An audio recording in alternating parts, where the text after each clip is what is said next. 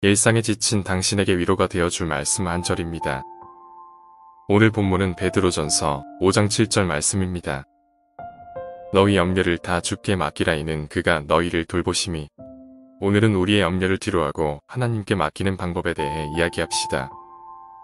우리의 걱정을 내려놓고 하나님께서 그들을 돌보실 것이라고 신뢰하는 것은 쉬운 일이 아닙니다.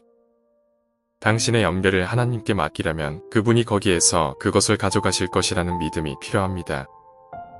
이러한 염려를 인정하는 것만으로는 충분하지 않지만 우리는 이러한 염려를 기꺼이 내어버리고 기도로 하나님께 나아가야 합니다. 믿거나 말거나 이것은 큰 훈련이 필요합니다. 오늘 우리가 하나님께 드릴 수 있는 염려는 무엇인지 잠시 묵상해 봅시다. 관계에 대한 걱정, 건강 문제, 재정적 부담 또는 우리의 마음과 정신을 짓누르는 그 밖의 모든 것이 될 수 있습니다. 함께 기도하시겠습니다.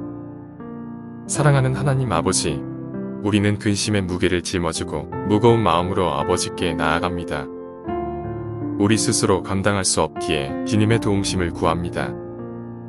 주님 우리의 모든 것을 주관하여 주시고 우리의 모든 염려를 말로가 아닌 행함으로 맡기게 하여 주시옵소서. 우리의 모든 걱정을 내려놓고 주님의 사랑과 보살핌을 신뢰하며 믿음대로 살게 하여 주시옵소서. 우리의 마음과 생각을 가득 채우는 주님의 평화를 원합니다. 현재에 집중하고 우리가 가진 것에 감사하고 우리의 필요에 대한 주님의 공급하심을 신뢰하게 하옵소서. 주님, 주님의 신실하심과 사랑에 감사드립니다. 우리는 주님을 신뢰하며 주님이 우리를 이끌어 주실 것임을 압니다.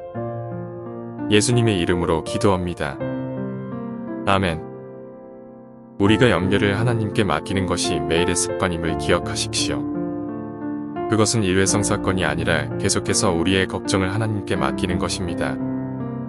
오늘 하루 그분의 사랑의 돌보심 안에서 참된 평안과 안식을 누리길 소망합니다.